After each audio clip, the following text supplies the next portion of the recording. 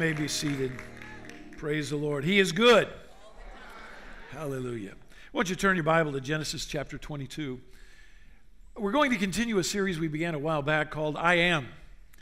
I Am. And in the context of the I Am, for those of you that have not been with us at the beginning of this series, Moses was born. There was an edict that went out in all of Egypt that all of the firstborn children, all of the children of a certain age would be killed, massacred, slaughtered. And so Moses' mother, being a good mother, decided that she would do her best to hide her child. So she did that. She formed a, a, basket, a waterproof basket, put him in, put him in the river, in a place where the Pharaoh's daughter would likely go. She would see him and would save him. That was her hope. And sure enough, exactly as she had uh, desired, exactly as she thought, was came to pass. The Pharaoh's daughter saw him. Uh, it was a it was a miracle that took place that her heart brought him or desired to have him for her own. And she allowed Moses, Moses' sister was there guarding or watching over the events of that child. And Moses was given to his mother, his, his uh, birth mother, for her to take care of him until such time as the Pharaoh's daughter could take him for her own. During that time, I believe that, as any mother would do, she imparted to Moses this truth God has spared you for a purpose. God has a purpose for you. And I want you to know this morning, regardless of whether you've been spared or not, God has a purpose for your life.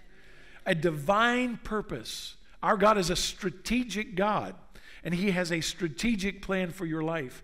She raised Moses, and I believe she raised Moses with the understanding that God has spared you for a reason. And, and during that time, brief time as it may have been, she taught him the truth of God. Then he was placed in Pharaoh's home. He lived in the best house, ate the best foods, went to the best schools. He had the best of the best of the best. And still, with all of that, he knew within his heart that God had called him for a purpose. Never give up on what God has called you to do. Never give up on God's destiny in your life. Never give up. The, op, the, the uh, circumstances surrounding your life don't dictate God's will for your life. The limitations of your own abilities don't limit God's will and purpose for your life. So Moses, knowing that he was the leader or deliverer of Pharaoh, brought out for a purpose, trained for a purpose, one day was out and about, and I think he was probably looking over his kingdom, the kingdom of the Jews. And, and knowing one day he's going to lead them out. And, and so, as he was walking about this, one day he saw an Egyptian slave master abusing one of the Jewish people, men. And, and anger rose up within his heart. I don't believe it was righteous indignation or righteous anger. I think his emotions got the best of him.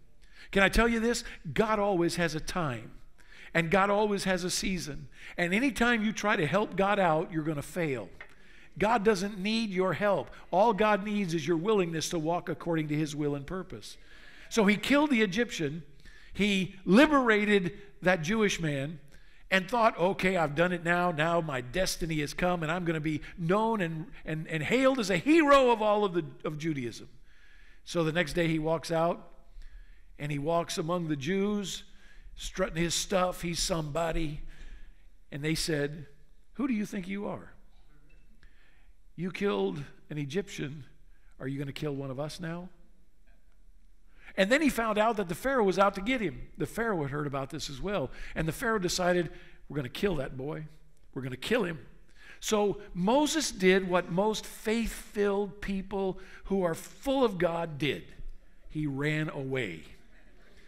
He ran away from the Pharaoh's home, Pharaoh's food, Pharaoh's education. He ran away into the wilderness. In other words, he exiled himself into the wilderness. There he stayed for 40 years, tending sheep, wasn't even his own sheep. He had nothing. What he learned in that 40 years is I am an utter failure.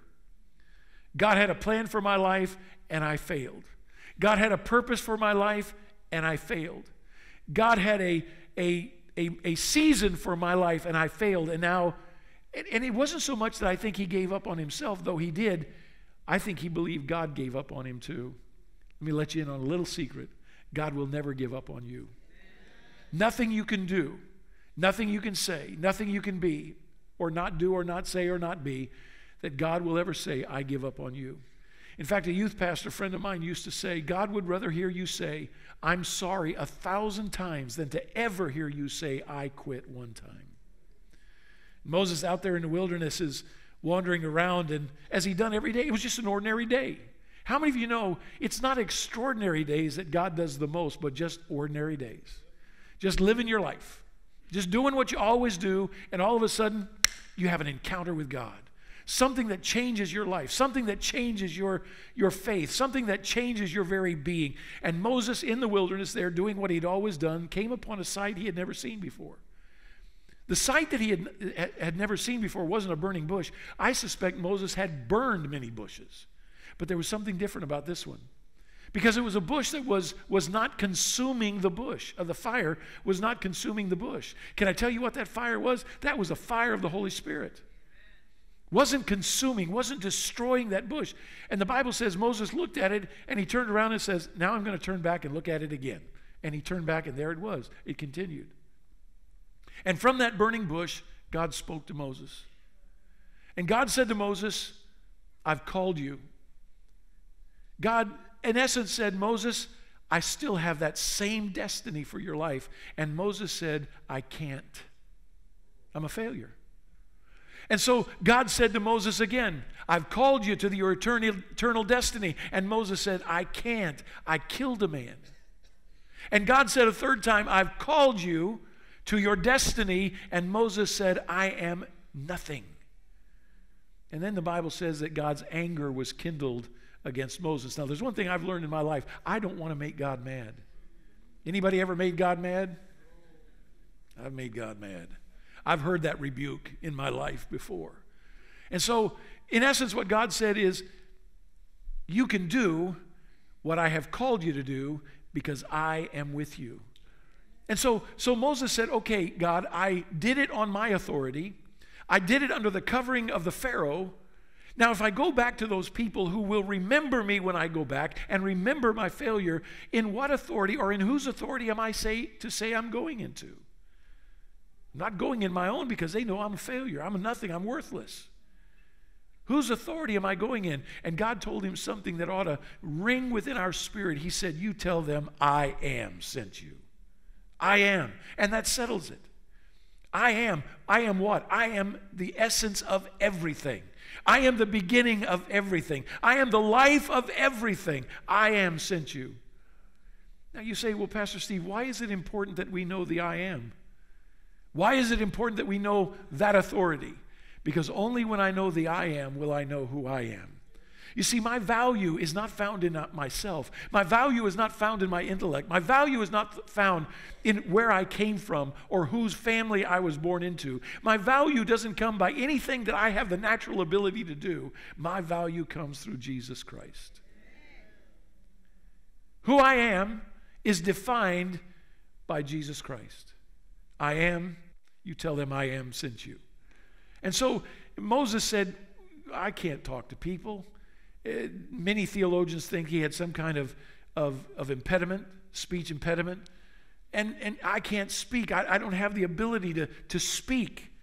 And so God said, Don't worry about it. I'll take care of that too. I'll send someone with you who will speak for you. And don't you know that when you, when you look at the scripture and you read about Moses' encounter with the Pharaoh, the one not the one who wanted to kill him, but the one who could kill him, his interaction, you never hear Aaron say a word. You only hear Moses. Moses speaks. Moses speaks. Moses speaks.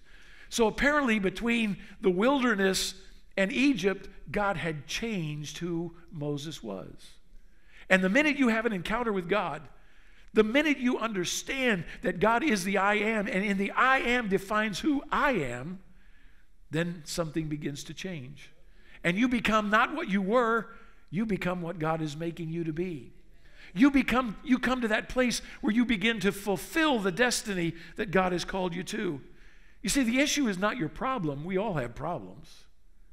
Some of us create our own problems. The issue is not the problem or the challenge you may face today. The issue is where do you look for the answers to those problems?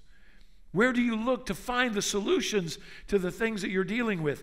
Someone once said, My focus is not on the flood that surrounds me. My focus is on the God who surrounds the flood. You see, God is bigger than your problem. God is bigger than the issues that you deal with in your life. God was bigger than Moses, and God is bigger than you. So, He is the I am. And in our series, we're, we're saying God, Jehovah, and in this case, we're saying Jehovah Jireh. Now, now we probably have some context of what Jireh means, but, but where did we get Jehovah? Well, the essence of the origin of the word Jehovah really is a mystery to most Bible scholars. In fact, the Jews in the law would never consider calling God by his name.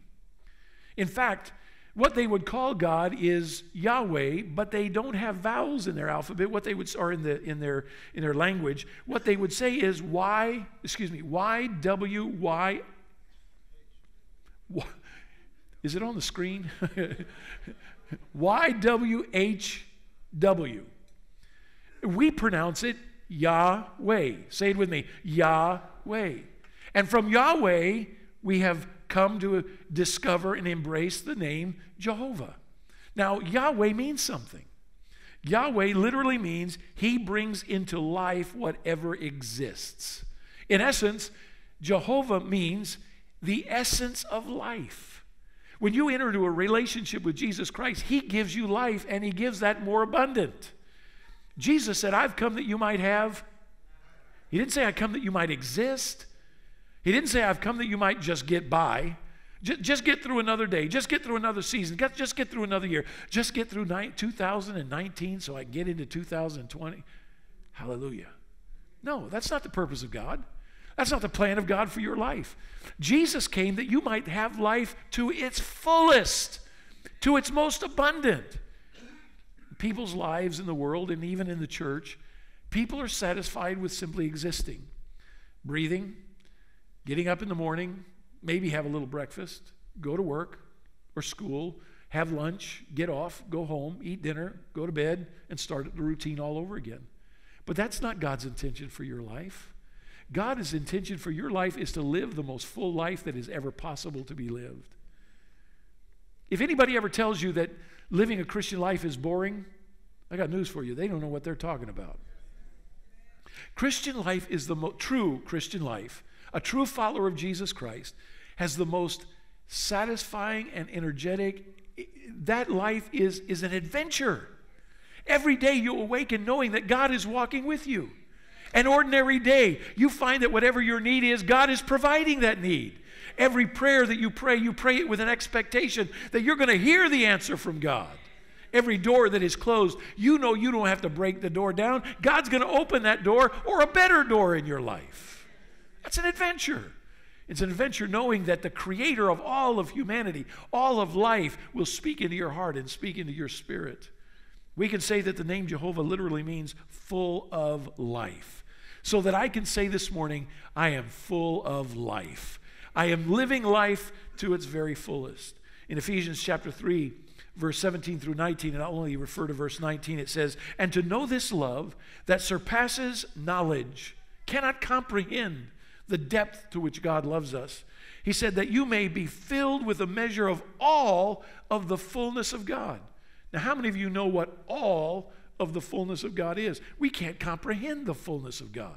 We can't comprehend the vastness of who God is. Yet the Word says all of God is given into your life so that you can live to its fullest. Jehovah thus implies God brings into life. I think most of us could testify that before we became born again, we were living a walking death. No life. It was existence. It was getting by. And how many of us know that even when we thought we were uh, living, and even though we thought it was a good life, when we came to know Christ, we realized it was a nothing life. Now we're living the fullness of life. Now we've experienced the fullness of God.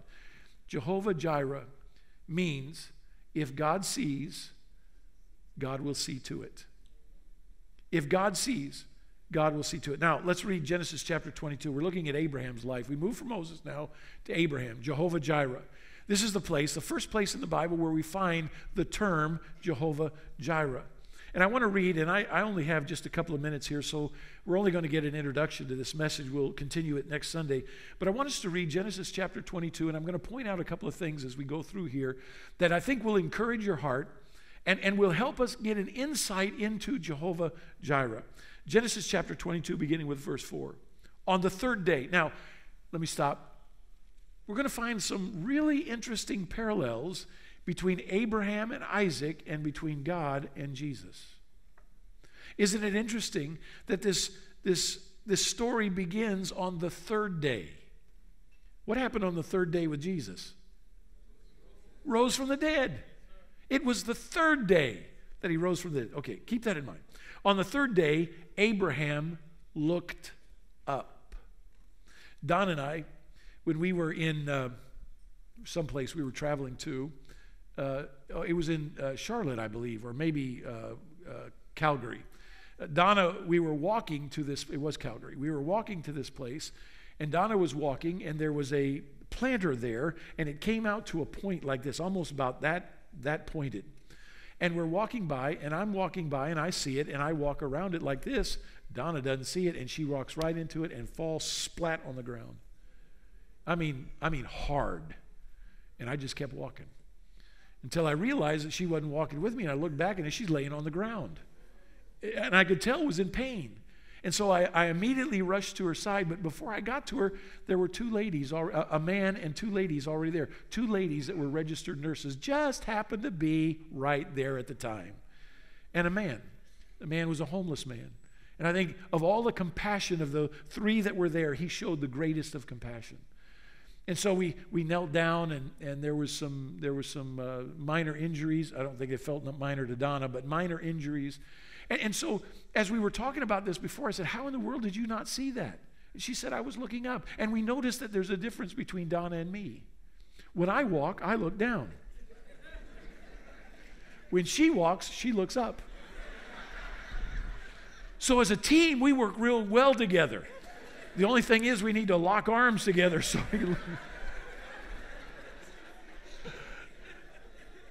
and so, as, as, as Abraham is going on this journey that he's about to go on, what does the Bible say? He looks up. He looks up. What is he doing? He's raising his expectations. He, he's looking, the Bible says, lift up your heads. Your redemption draweth nigh. Lift, lift up your heads, lift up your eyes. The answer is on the way. So he, Bible says, he looked up and he saw the place in the distance, the mountain of the Lord. And he said to his servants, and, and this is another thing to keep in mind. Abraham has been commissioned by God. Abraham, you know the story. Abraham and Sarah of old age have no children. They begin a promise. Promise the Lord, you're going to have a son, you're going to have a child. He's going to be great.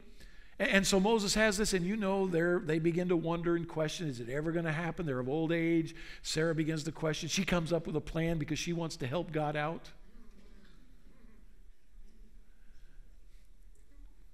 I'm going to say it in a way my mother would not be happy with me. God don't need no help. God doesn't need your help. If God said He's going to do something, He's going to do it. Now, He may do it through you, but it's still Him who's doing it, not you. She's going to help out and, and made a mess of things. But then after that period of time, she has a child. Praise God. They're rejoicing and they're, they're, they're loving their son and, and, and the destiny that God has called him to. And it's glorious and wonderful. And then all of a sudden, one day God comes to Abraham and says, I want you to kill your boy. The unthinkable. The unthinkable. Now, anybody who knows God knows that God is not a God of death, God is a God of life. In fact, in fact, Jehovah means full of life.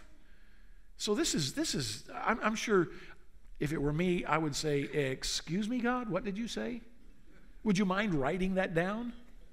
Can we sign a contract?" But but but Abraham heard the voice of God, and the Bible says Abraham knew God. He knew God. He knew God's nature. He, he, he knew who God was. And so as they're journeying up, the, the, the um, I was going to say the ushers, the, the servants were going up with them to a point where Abraham says, No more. And this is what he says.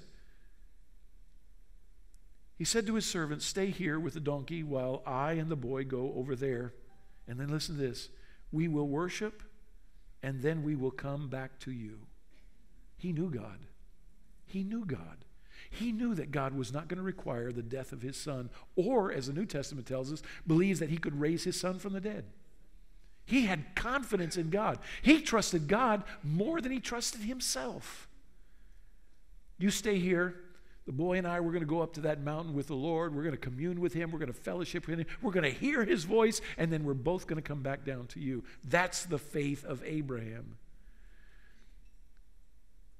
And so Abraham took the wood, the burnt offering, and placed it on his son Isaac. Put the burden on Isaac. Where was the burden of sin placed? On Jesus. In this analogy and comparison between Isaac and Jesus, Isaac was the only begotten firstborn son of Abraham.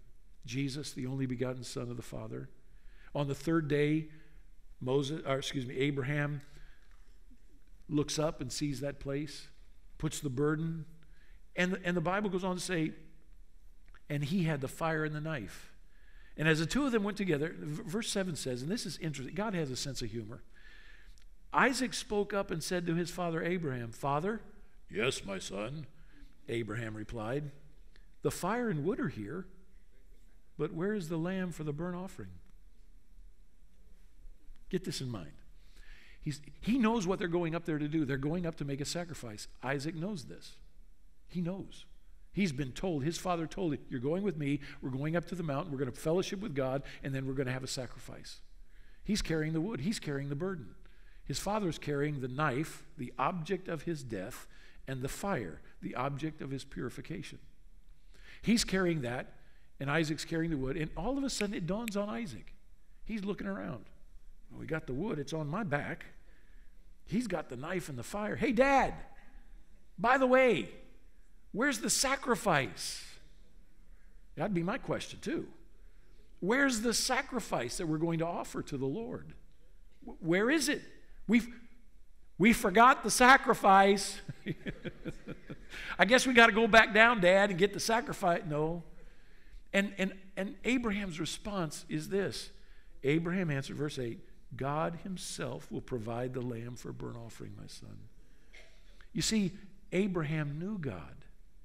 He knew God. Do you know God? Do you have that trust in God? You see, we, we struggle sometimes with trusting God to pay our tithes. We, we struggle sometimes in giving offerings. We, we struggle sometimes in serving. We struggle sometimes in telling somebody about Jesus. We struggle sometimes to pray. We struggle sometimes to read the Word. But Abraham knew his God. God Himself he didn't say, well, we'll find one. God Himself, God's interaction into our life will provide what we need for this offering. God Himself, not interesting the word, and I don't think God wastes words in the Bible. God Himself will provide the lamb for burnt offering. And the two of them went together, and when they reached the place God had told them about, Abraham built an altar there and arranged the wood on it the burden was lifted from Isaac's back. But then he bound his son Isaac and laid him on the altar on top of the wood. We talk a lot about the faith of Abraham. What about the faith of Isaac? Now, now if there was a race between, a foot race between Isaac and Abraham, who do you think would win that race? If a fight broke out between Isaac and Abraham, who do you think would win that fight? Abraham, excuse me, Isaac had to allow himself to be tied up. Isaac didn't place himself on the altar, Abraham placed himself. And I suspect Isaac probably helped him a little bit. but I'm, I'm going to I'm to tell you about me. Tell you about me. If my dad came at me with a knife, we would have a conversation right there. If my dad said to me, he's got this rope, and he says to me, I'm going to tie you up, son, you're going to do what? I'm, well, I'm going to tie you up. And for what purpose? Well, because I'm going to put you up here on the altar. Say again. I'm going to put you up here on the altar. And what are you going to do after that? I'm going to kill you. I'm going to tell you, I'm going to tell you in the natural, I'm going to tell you exactly what I would do. I'd be coming down that mountain. And I would go down the mountain a whole lot faster than we came up that mountain. And when I got down the mountain, I'd say, hey, there's something wrong with my dad. We, we, need, to, we need to call the ambulance right away. Something wrong with that man. But, but, but Isaac had to allow himself to be bound. He didn't have to be. He could have run away. He could have fought and would have won. He knew he could beat his dad, but he didn't. Can I tell you why? I think for two reasons. Number one, he honored his father. What an honor that is. But number two, he either trusted his dad or he trusted God. And I believe he trusted God because his dad had told him God himself will provide the, the lamb for sacrifice. And so, and, well, let's read on. And that's about as far as we're going to get this morning. Um, he bound his son, his Isaac, and laid him on the altar on top of the wood. And, and then, it's talking about Abraham, Abraham reached out his hand, took the knife to slay his son. But an angel of the Lord called out to him from heaven, Abraham, Abraham. Here I am, he replied. Now, can I just stop here and say, he was waiting for that call. He was waiting for that call as a, as a servant of God, is doing what God's called him to be, do, and, and, and, and live as God has called him to live, and all of the adversity of life is coming against, all of the uh, demons of, of hell are coming against you, or so it feels, and, and you're just, you're doing God's will and you're doing God's purpose, and you're just waiting for God's voice to come out. If I can just hear God's voice, I can do this. If I can just feel or sense God's presence, I can do this. I need something. I believe Abraham's ear was really attentive that day, that moment, to hear the call of God. Abraham. And what's interesting is the angel called twice. How many of you know he probably didn't need to call twice? One word would have been enough. Abraham, Abraham. And his response is, Here I am. I'm right here doing what you told me to do.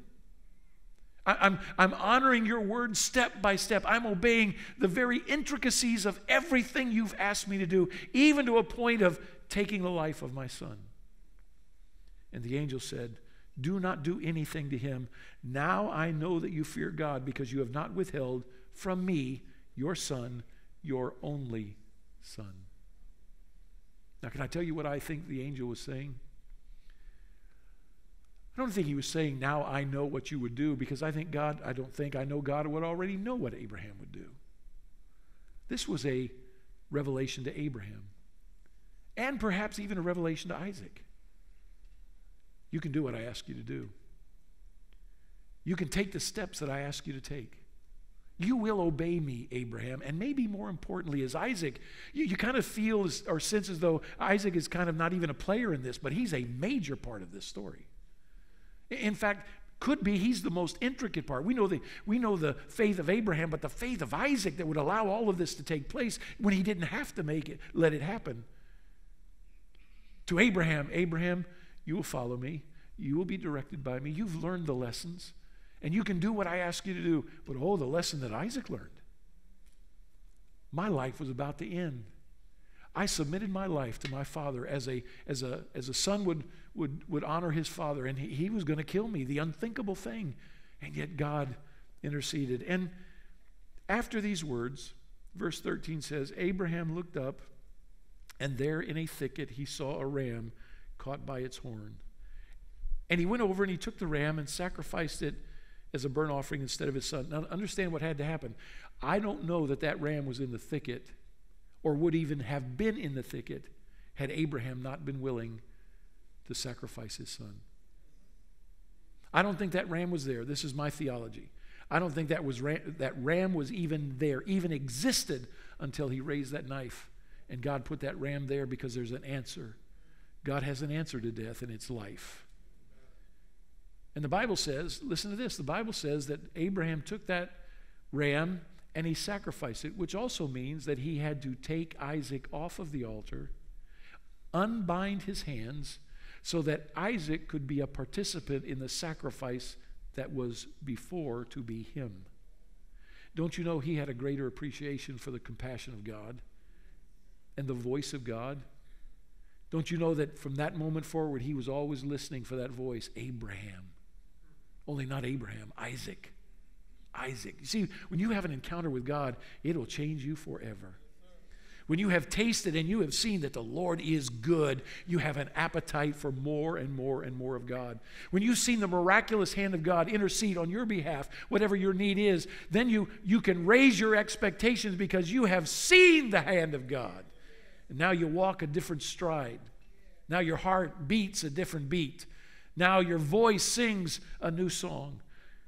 And verse 14 so Abraham called that place, The Lord will provide. And so to this day, it is said, On the mountain of the Lord, in the place where God abides, it will be provided. For you, you may not be sacrificing your child. In fact, if you are, you need to let us know because we need to get you some help. but there are other kind of sacrifices too. There are the things that God asks us or calls us to do that we consider impossible. I can't do that. That's not possible. That's not even the realm of possibility. And yet, if God asks you to do it, God is going to be with you through the entire process. And see, what Abraham said is, My son and I will be back.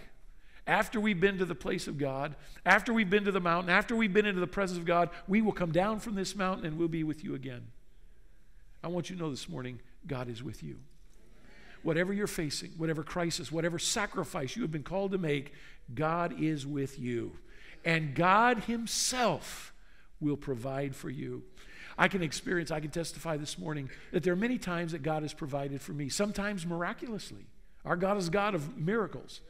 But sometimes the miracles happen in ordinary ways too. Sometimes the miracles happen and we don't even recognize that they're miracles. We don't even recognize the hand of God. But oh, when you hear the voice of God, Abraham, you know something is about to happen. Something is about to happen. I encourage you, make your confession this morning. God Himself will provide for me. If you are called to sacrifice your will, called to sacrifice your desires, called to sacrifice your finances, called to sacrifice anything, if you're called to sacrifice, trust in God. And you'll hear that clarion call Son, daughter, he may say, I receive that sacrifice. Or he may say, I've got something better. I've got something greater in your life. God Himself, Jehovah, the one who brings life, if He sees it, He will provide. Would you bow your heads with me, please? Father, we glorify you today and thank you for your grace and mercy. Thank you for all that you have done in our lives, for all that you are to us. You are a God. In the Greek, Jehovah means the Lord will see to it. Jehovah Jireh in the Hebrew means the Lord will provide. So, Father, from that we glean this if you see, and the Bible says you watch over us, your eyes are always attentive. The Bible declares, Heavenly Father, that you're watching over us as a father watches over his children. That if you see our need, Lord God, you will provide. Like Abraham, he had faith. Trust you. Trust you. You promised you'd give him a son. You gave him a son. You're not going to take him away. Father, I pray for each and every one of us in this here this morning that we would be willing to have faith like Abraham and faith like Isaac. That we would be willing to be a sacrifice. That we would be willing to sacrifice our will, our wants, our desires, willing to sacrifice our future for what you have called us to do, knowing, Heavenly Father, that even in that sacrifice, you will provide. There are those in the sanctuary this morning that are going through difficult times. There are those, Heavenly Father, that feel as though they've been sacrificing for a long, long time and they're ready to come down off that mountain now. But I pray, Heavenly Father, that as they come, they will not come. I see Abraham and Isaac coming down that mountain, singing the praises of God, glorifying the majesty of a Heavenly Father that would breathe life. And so as we come down that mountain, Father, I pray that we will have that song of joy as well. As every head is bowed, every eye closed, a most important question the question of, of your destiny, question of who you are and where you are, a question of whether or not you trust God. See, God loves you. He loves you with an everlasting love. There's nothing God would ever ask me to sacrifice or give up that He doesn't have something better for me. And how often we hold on to the things that we own or have or our identity. We hold on to it so tight because it's comfortable, it's security. And there are many times where God says, lay it down, lay it down. And, and we're afraid to lay it down because we don't know what comes next. But know this like Abraham trusted God, you can trust God. That whatever he would ask you to sacrifice or to give up or lay down, he has something better for you. If you're here this morning and you do not have a personal relationship with Jesus Christ, that's what this story is all about. The third day, the burden, the only son, the resurrection, as it were. This story is to tell you that God loves you and that God has a plan for your life, every one of us. To those of us that we feel that our life is the worst that has ever been lived, that we have failed so miserably, we look at Moses and see that God never gave up on Moses. When we've been given a word and we're not sure that we'll be able to fulfill that, like Abraham, yet trust God and do what God asks us to do, God will always come through. If you're here this morning and you've lost your way, if you're here this morning and you're a prodigal, you once loved God, you once served God, you, you knew the present, you know God, but circumstances invaded your life and things have changed and you've walked away from God. It's time to come home. It's time to come home. And for those that are looking for something that you've never found, never found it in church, never found it in religion, never found it in things of the world, you, you've looked for something to satisfy, something to live for. I'm here to tell you Jesus will give you life. His name is Jehovah, He is the life giver. And if you're willing just to accept the life He has for you, knowing this, that it's good. After He created everything, Jesus, or Father, looked at it and He said, It is good. And so I'm going to ask this morning if you're here, a prodigal, someone who's lost, someone who's lost their way, if you're here this morning and you want to be forgiven of sin, or, or you're at a point in your life where you just declare, I need help. I'm tired of doing this on my own. I'm lost. I want to tell you, Jesus has found you today. And if you're here and you want to make that confession of faith, I, I want to pray with you. I, I want to pray with you. And so I'd ask if you desire to make that confession of faith, if you desire to have life, if you want a new beginning in life, I want to invite you just, if you just lift your hand and wave at me, I'm not going to ask you to move. But I want to, I want to be able to pray with you. If you want to be forgiven of sin, just raise your hand and wave at me. Let, let, let this pastor pray for you. Thank you. Thank you. Thank you. Thank you. Thank you. Just, just wave at me. I don't want to miss you. Thank you. Thank you. A wave of the hand so that I recognize you. Thank you again. Thank you. Thank you. See, this is the best decision that you can make. You're making a decision to trust God, and He's trustworthy. You're, you're making a decision for a, a, new beginning, not a new chapter in an old book, but a brand new book, brand new beginning. The Bible says the old is gone. Eh, you see, God can do what you can't do. God can do what no one can do give you a new beginning, born again, as if you were a child being born new.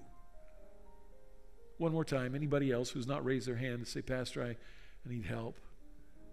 I need Jesus, God in my life. Would you just lift your hand, wave at me to join these who have already said so?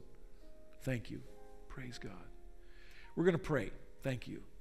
We're going to pray. And I want all of us to pray together. Some of you prayed this prayer a long, long time ago, and you would confess, you would testify God has been faithful to you over the years. Those some of you have just made a confession to serve the Lord, live for God for just a few days, and you would confess in these few days God has been faithful. So I want all of us to pray together in agreement with these who have raised their hand. There are brothers and sisters in Christ. Let's all pray. Join with me. Heavenly Father, today, December the 8th, 2019, I ask you to forgive me of my sins. Forgive me of every wrong I've ever done in life. Forgive me of every mistake I've ever made. Forgive me of the harm that I've caused to others and the harm I've caused to myself. I ask you today, Father, change my life. Do for me and in me what I could not do for myself.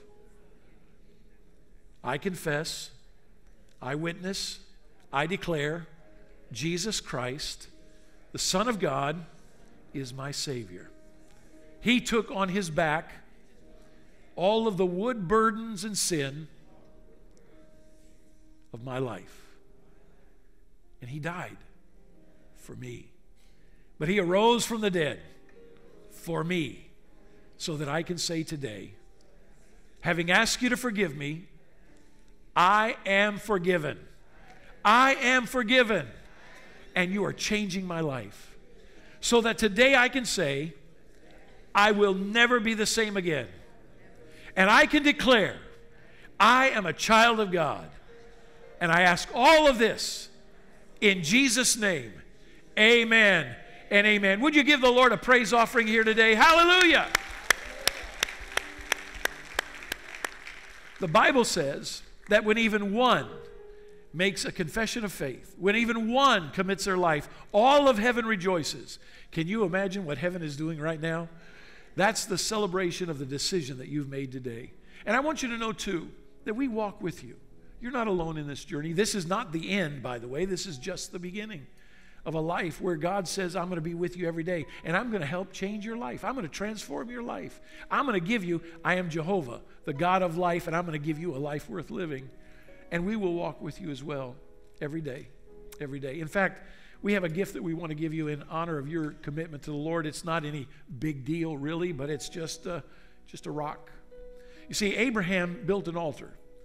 And on that altar, he was going to put his son, but ultimately put a ram, a sacrifice. This, that altar became a memorial, a reminder. And so this rock is nothing more than a rock, but it, it's a reminder, a memorial to you and to anybody who sees it of what God has done in your life today. And as you gaze upon it, it put it on your desk or on your dresser, or on your refrigerator, wherever you look most. As you see it, it reminds you, I made a confession of faith. God is my Father today. My life has changed. A constant reminder of what God desires to do in your life and the life that He desires to give to you. But not only that, it may be a reminder to somebody else as well. And they look at that rock. Why you got a rock on your refrigerator? Why you got a rock on your desk? Well, let me tell you what Jesus did in my life. Let me tell you, I was I was lost. That whatever word you want to use, but the essence of it is Jesus changed my life. God changed my life. And if He changed my life, He can change your life too. A testimony, a witness of what God can do. And if you, you come, we have this, and we'll put the date on it so that you'll have it with you, and it'll be a reminder to you and to others. But also, we want to give you a, a, a small little piece of paper that talks to you about your new relationship with Jesus. It's not a membership card. It's just to remind you of what of who you are and what God desires for your life. And also to let you know that we have a class